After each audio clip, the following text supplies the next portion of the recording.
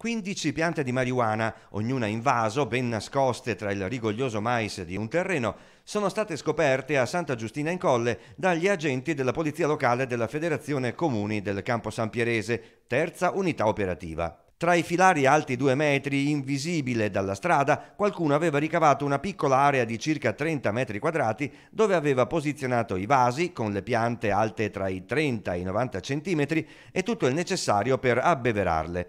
L'azienda agricola proprietaria del terreno è estranea alla coltivazione fuori legge. Il narcotest effettuato su una delle piante presa come campione ha dato esito positivo.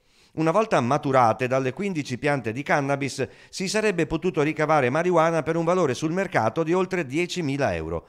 Le pene per i responsabili sono molto severe. Chiunque coltivi per qualunque scopo sostanze stupefacenti o psicotrope viene punito con la reclusione da 6 a 20 anni e con la multa da 26.000 a 260.000 euro.